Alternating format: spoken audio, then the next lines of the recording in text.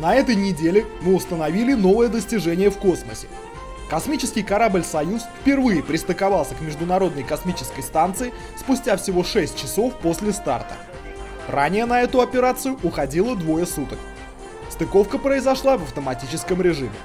Помимо этого, 26 марта успешно произведен запуск на орбиту мексиканского коммуникационного космического аппарата SatMex-8.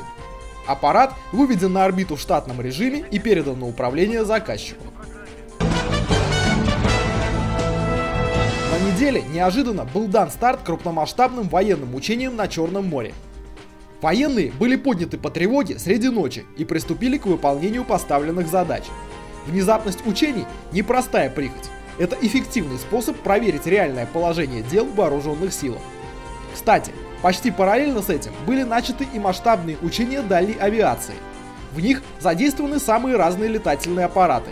От вертолетов Ми-8 до стратегических ракетоносцев Ту-160, Ту-95МС и дальних ракетоносцев-бомбардировщиков Ту-22М3.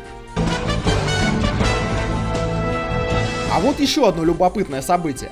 Российская компания Displayer представила собственную разработку – воздушный дисплей, работающий по принципу тачскрина.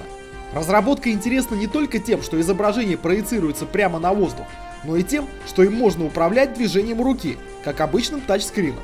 При этом можно проносить руку через изображение, и его целостность не нарушается. Конечно, качество изображения пока не дотягивает до качества привычных мониторов, но, во-первых, разработчики обещают его улучшить, а во-вторых, оно уже годится для рекламных и научных целей. Но важно даже не это, а то, что разработчиком устройства является наш соотечественник, астраханец Максим Каманин. Он же при помощи родных и друзей основал инновационную компанию Displayer Company. Максим стал победителем Зворыкинской премии, Кубка техноваций, конкурса «Лучший инновационный проект Астраханской области» и «Бит Юг», а его компания стала резидентом Сколково и Казанского IT-парка.